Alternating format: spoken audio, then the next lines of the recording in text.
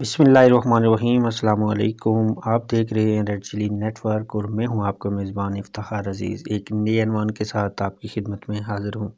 और आज का अनवान है गैरतमंद शोर वाक़ा कुछ यूँ है कि एक निकाब पोश औरत काजी साहब की अदालत में हाज़िर हुई, जिसके सरप्रस्त का दावा है कि इस औरत का निकाह के वक्त पाँच सौ दिनार मैर मुकर हुआ था, मगर इसका शोर मैर की रकम अदा नहीं कर रहा। और जब शोर को बुलाकर पूछा गया तो इसने कहा कि मैर का ये दावा बेबुनियाद है। काजी साहब ने मदई से कहा कि अपना दावा साबित करने के लिए गवाह पेश करो। जो इस बात की गवाही दें कि वाकई इस मर्द ने निकाह के वक्त पाँच सौ दिनार मुकर किया था। पास जब गवाह अदालत में हाजिर हुए और औरत को कहा गया कि वो खड़ी हो जाए और अपना नकाब उतार दे ताकि गवाह उसे पहचान कर उसके हक में बयान दे सकें। क्योंकि जब गवाह मुद्दे यानी दावा करने वाला या मुद्दई अलिया जिस पर हक का दावा किया जाए कि मौजूदगी में गवाही दे तो इस पर लाजम है कि उसकी तरफ़ इशारा करके वाज तौर पर गवाही दे। वो औरत हया वाली थी, इसलिए बेनकाब होने में पसो पेश से काम लेने लगी। इसके शोर ने जब दूर से ये सब कुछ देखा तो पूछा कि ये लोग क्या कर रहे हैं?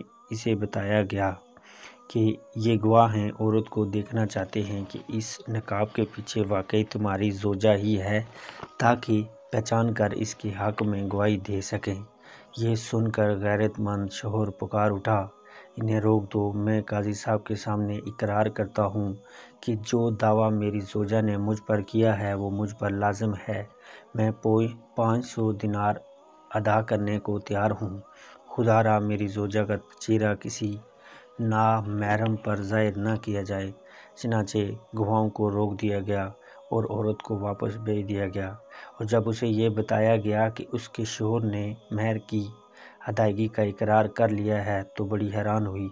फिर जब उसे ये हकीकत मालूम हुई कि उसका शोर इस कदर गैरतमंद है कि उसने महज अपनी बीवी की हया का लाज रखते हुए उसके बेपर्दा हो जाने के खौफ से महर की अदायगी का इकरार किया तो शोर की गैरत तासीर का तीर बनकर इसके दिल में कुछ ऐसी सूरत पेवस्त हुई कि उसके दिल की दुनिया ही बदल गई।